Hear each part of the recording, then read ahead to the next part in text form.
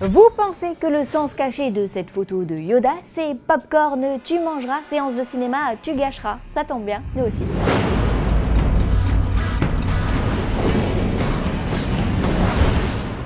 Sortez les bolides à boulons, voici des nouvelles de Cybertron. Vous le savez, la saga Transformers se développe à vitesse grand V puisqu'une équipe de scénaristes a été embauchée pour plancher sur un univers connecté.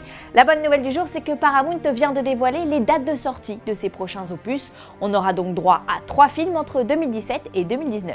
D'abord, 2017 avec Transformers 5, sans doute le dernier film de la saga réalisé par Michael Bay. Au casting, Mark Wahlberg reprend du service après l'âge de l'extinction. Sa mission, contrer une nouvelle fois les Decepticons.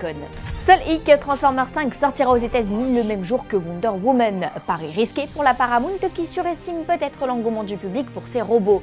Et vous, vous êtes plutôt Autobots ou Gal Gadot? Avoue que la question mérite d'être posée tout de même.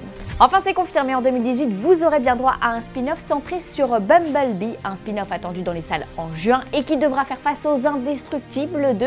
Et puis après cela, rendez-vous en 2019 pour Transformers 6. Quoi qu'il en soit, Paramount ose le tout pour le tout. Trois films Transformers sans bête, dont un centré sur le tout petit Bumblebee. Gros gros défi, hein. Mais c'est sans compter sur le travail de cette poule de scénaristes dont on vous a déjà parlé. Alors là, j'entends déjà les détracteurs me dire mais ont-ils besoin d'être aussi nombreux pour nous pondre trois films de robots?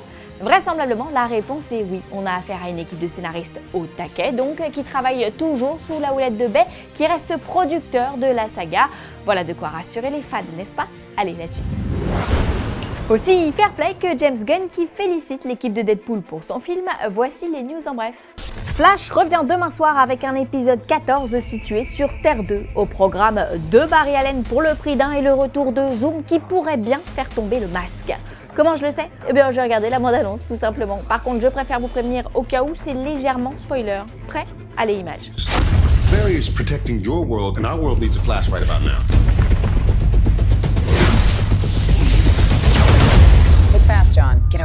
Never. Zoom's still out there. Carry the weight of the world on your shoulders. Take control of it, or he will eat at you until there's nothing left. The Flash has gone rogue. Expose him as a fraud. What happened to you on Earth 2? Ah! He's here. It's over. This is far from over. The Zoom's coming! Get ready to fire! Whoever that monster is, I will beat him. Vous le savez, les rumeurs de casting concernant le spin-off sur Han Solo se multiplient. Deux nouveaux noms viennent gonfler la liste des prétendants au titre. Taron Egerton, alias Kingsman, et Alden Ehrenreich, vu récemment dans Sublime Créature.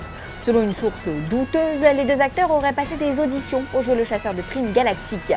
Pour rappel, ce spin-off sera réalisé par les auteurs de la grande aventure Lego, mais avant cela, emploi du temps chargé puisqu'ils écriront le film d'animation Spider-Man et la grande aventure Lego 2.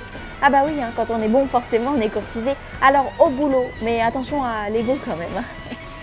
Aujourd'hui, dans le coin des fanzoniens, on répond à Lord Riffles, ou Lord Riffle, c'est selon, qui nous demande ce que le personnage de Death vient faire au casting des X-Men Apocalypse.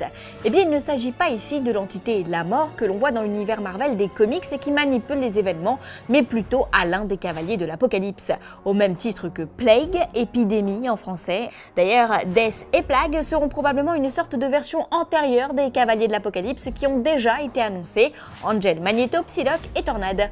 Comme la saga X-Men toujours joué sur les chronologies, on ne va pas s'étonner maintenant. D'ailleurs, euh, petite anecdote en passant, Death sera jouée par l'actrice Monique Ganderton qui connaît bien l'univers Marvel de la Fox puisqu'elle était cascadeuse sur X-Men 3 ainsi que sur les deux premiers 4 Fantastiques. Ça, c'est de l'anecdote qui dépote. Hein Fanzone, c'est fini pour aujourd'hui, mais vous pouvez nous retrouver sur YouTube en vous abonnant à la chaîne Fanzone et à la chaîne Allociné.